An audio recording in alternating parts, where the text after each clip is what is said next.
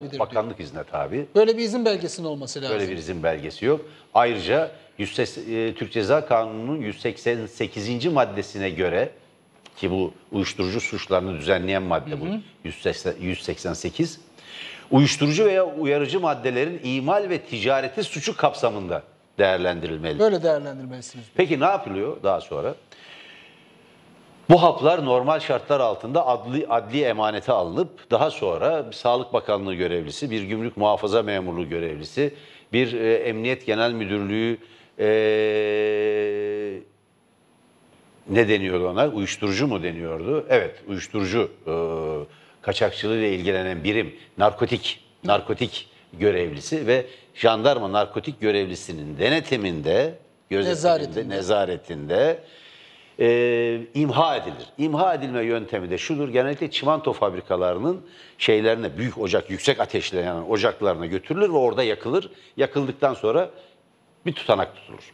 Veyahut demir çelik fabrikalarının o yüksek ateş, yüksek ısılı fırınlarında yakılır hiçbir şey kalmasın diye yakılır, imha edilir. Dolayısıyla bu yapılmıyor. Peki ne oluyor? Bir, bir iddiaya göre çeşitli şirketler adına transit refakat belgeleri düzenlenerek Demokratik Kongo Cumhuriyeti'ne gönderilmiş gibi yapılıyor. Ya nasıl olabilir bu? Yani e, Gümrük Muhafaza Genel Müdürlüğü kriminal e, e, laboratuvarının verdiği rapora dayanarak refakat, transit refakat belgeleri düzenleniyor ve bu belgelerle hızla Kongo Cumhuriyeti'ne gitmiş gibi gösteriliyor. Kongo Cumhuriyeti'ne gönderilmesi mümkün değil. Bir, ambarla da yakalanıyor. Tırlarla gelmiş. Gemilerle gönderilmesi lazım. Birincisi gemilerle. Bu geminin hangi gemi olduğu, bunun Kayda konşimentosunda ne yazdığı, uçakla gönderilmişse hangi uçakla gittiği, gittiği ülkenin gümrüğünde bir işlem yapılıp yapılmadığına dair hiçbir bilgi yok. Peki durum ne? Asıl iddia şu, asıl iddia, sarsıcı iddia. Hapların Kongo Cumhuriyeti'ne gönderilmediği, Türkiye'de iç piyasaya bunu gönderen kişilere teslim edildiği ileri sürülüyor. Peki bunu e, resmi belgeler üzerinden konşimentosunda teslim alacak kişinin ilaç ve tıbbi alanla, tıp sektörüyle ilgisi, tıp ve eczacılık sektörüyle ilgisinin bulunmadığı belirtiliyor. Ha, zaten kalsiyum kalsiyum karbonat diye beyan edilmiş. Evet. Kalsiyum Yani karbonat. şöyle dememişler ki bu bir ilaçtır. Hani o gümrükte şöyle desin. Bak bunlar ilaç dediler, ilaç çıktı. Yani kalsiyum karbonat diye beyan ettikleri mal bir kere yine gümrüğün e, belgesine göre bir ilaç niteliği taşıyor. Şimdi yoğunlaştırılmış bir uyuşturucu hap bu. Diğer özelliklerini söyleyeyim. Yoğunlaştırılmış bir uyuşturucu hap. Ee, 32 bin ton bir ülkede bir kuşakta alışkanlık yapabilecek bir miktara tekabül ediyor. Yani eğer bu iç piyasaya sürülmüşse bunun devamı da gelmiş olmalı. Ya da geliyor e, olmalı büyük ölçüde.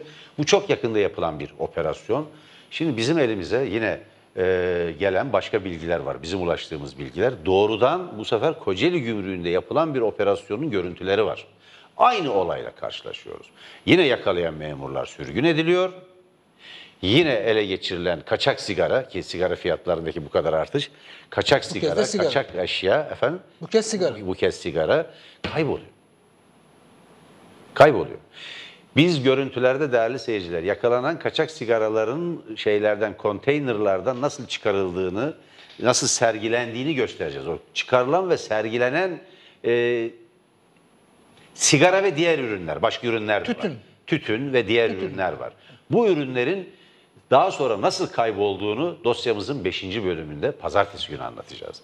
Şimdi bu büyük bir e, olay. Şimdi dünkü e, bizim Son iki dakika. ekrana ekrana getirdiğimiz e, Gümrük Muhafaza Genel Müdürlüğü ve Gümrük Kapılarında Gümrük Müdürlüğü'ne Ticaret Bakanlığı'na bağlı casusluk diye tırnak içinde belirtiyorum. Casusluk diye nitelendirilebilecek veyahut böyle olduğu iddia edilen bir bakan yardımcısı tarafından da e, bazı üst düzey memurların, kamu görevlilerinin uyarılmasına yol açan bir dosya dün yayınlamıştık.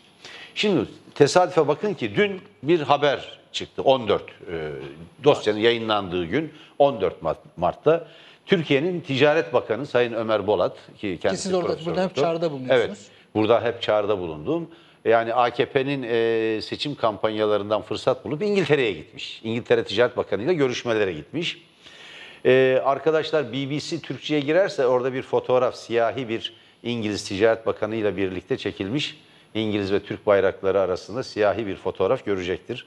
Ee, BBC e, Türkçe. Türkçe'ye veyahut Bloomberg'e, e, Bloomberg International'da da var aynı haber. Bloomberg'e girerlerse onu görecekler, onu getirebilirler. İki dakika kaldı, belki Şimdi şey hemen çok hızlı anlatacağım. Şimdi burada e, bizim bu dosyaların bu seyahati hızlandırdığı anlaşılıyor. Yani apar topar gidilmiş çünkü İngiltere e, Avrupa Birliği'nden çıktığı için Türkiye'nin Avrupa Birliği ile yaptığı gümrük birliği anlaşmasının da dışına çıkmış oldu. Bu ziyaretin asıl amacı gümrük birliği anlaşmasını yani Avrupa Birliği ile yapılan anlaşmayı İngiltere ile yenilemek. Bu kadar.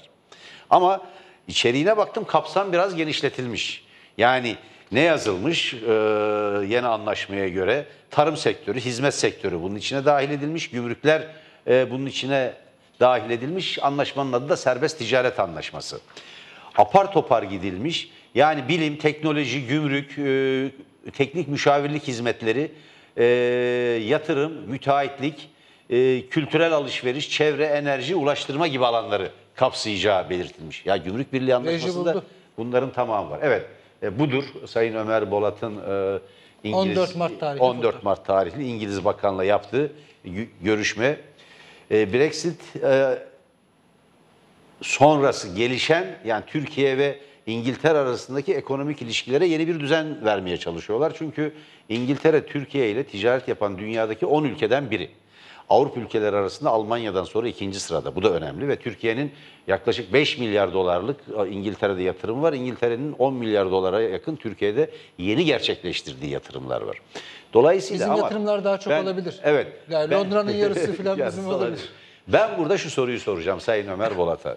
Apar topar bu gerçekleşen bu ziyaretin açıkladığımız dosyalarla bir ilgisi var mı? Bir. Çünkü e, ne her nedense serbest ticaret anlaşmasının e, imzalanması için bir ön çalışma, asıl görüşmeler 10 Haziran'da yapılacak. Evet. 10 Haziran'da. Daha 10 Haziran'a ne kadar var? Nisan, Mayıs yani 3 aya yakın bir süre var. 3 ay sonra yapılacak. Bu ön görüşmeler bakan düzeyinde gerçekleştirilebilecek görüşmeler değil aslında. Ama bir işi toparlayıp orada ne var ne yok, neler oluyor diye bakmaya gitmiş olabilir. Çünkü e, şunu biliyoruz ki bizim dosyada açıkladığımız her şey doğru. Her şey doğru. İsimler vermedik. Masumiyet karinesi nedeniyle ve insanların aklanma hakları da olduğu gibi biz mahkeme değiliz. Biz gazeteciyiz ve bilgiyi, haberi, bulguyu iletiriz.